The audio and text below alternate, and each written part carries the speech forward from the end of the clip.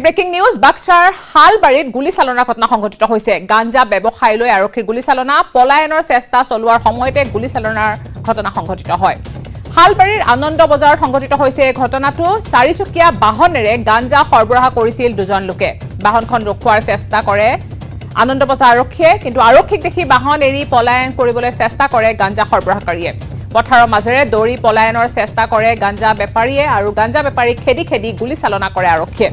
খেদি খেদি দুই গাঞ্জা সৰবৰাহীক আটক কৰে আৰক্ষীয়ে। ধৃত দুই সৰবৰাহকাৰী ওদালগুৰিৰ উইলিয়াম দৈমাৰী আৰু ৰবি ওজা বুলি জানিব পৰা গৈছে।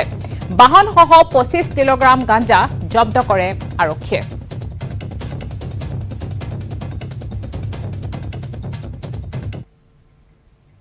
একজন খালি কৈছে কি তাৰ পৰা গাড়ীৰ পৰা নামি কৈছে ধৰ ধৰ ধৰ ধৰ বুলি তাৰপাছত ইয়াতে আহি ফায়াৰিং কৰিছে। ফায়াৰিং কৰাৰ পাছত ই এনেকৈ বাৰীৰ পিছপিনে মানে ফায়াৰিং কৰাৰ সময়ত আপুনি ইয়াতে আছিল? অঁ ইয়াতে আছিল।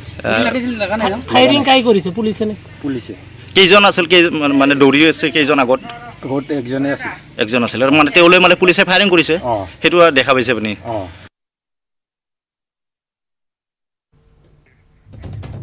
পুনৰ জনাইছো বাক্সাৰ বাক্সাৰ শালবাৰীত গুলীচালনাৰ ঘটনা সংঘটিত হৈছে। গাঞ্জা ব্যৱসায়ীলৈ লক্ষ্য কৰি আৰক্ষীৰ গুলীচালনা। পলায়নৰ চেষ্টা চলোৱাৰ সময়তে আৰক্ষীয়ে কৰে গুলীচালনা। শালবাৰী আনন্দ বজাৰত সংঘটিত হৈছে গুলীচালনাৰ ঘটনাটো। চাৰিচকীয়া বাহনেৰে গাঞ্জা সৰবৰাহ কৰিছিল দুজন লোকে আৰু বাহনখন ৰখোৱাৰ চেষ্টা কৰিছিল আনন্দ বজাৰ আৰক্ষীয়ে।